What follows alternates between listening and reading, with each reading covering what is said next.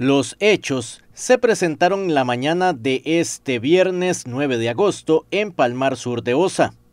Por razones que se investigan, el conductor de un camión que transportaba vinagre se salió de la vía y volcó. El cuerpo de bomberos y la Cruz Roja de la zona atendieron la escena, que dejó un paciente que era el conductor del vehículo pesado.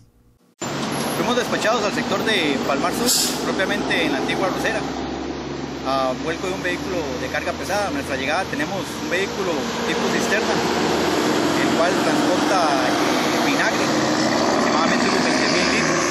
En el lugar tenemos una víctima, la misma está siendo valorada por personal de Cruz Roja, en una condición amarilla para ser trasladada al hospital Tomás Casas se conoció que el conductor del vehículo fue llevado en una condición estable para una mejor valoración al centro médico de la zona.